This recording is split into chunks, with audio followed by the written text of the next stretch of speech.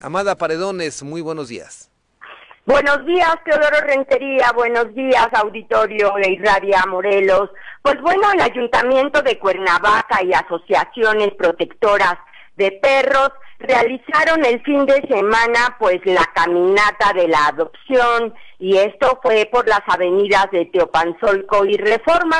El titular de la Secretaría de Bienestar Social y Valores, Rafael Valdovinos Galindo, pues señaló que en estos años el alcalde Antonio Villalobos cambió el procedimiento del sacrificio de perritos callejeros por el programa de adopción. Y bueno, este proyecto implica el entrenamiento de los perritos en el centro de acopio y bueno, explicó que pues al fin de otorgar un perro adecuado a la familia que lo adopte, es un perro fuerte, dinámico y bueno, esto pues tiene que ver con el entrenamiento para que ya sea para los niños o jóvenes o bueno, un perrito que pueda ser guardián, entre otros casos, y participaron las organizaciones Caminata por la Adopción y eh, Rescatando en Cuerna, de Jagüella y Conciencia Animal, y Pompeya Ramírez Cornejo, pues reconoció la iniciativa del alcalde Antonio Villalobos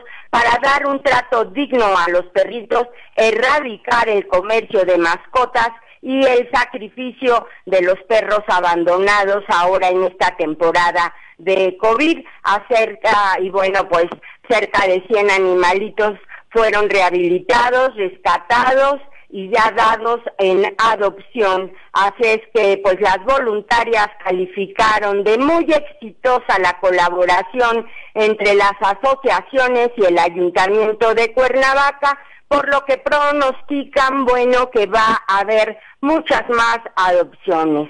Así las cosas, esta es una linda noticia. Que tengan un excelente inicio de semana y nos escuchamos mañana.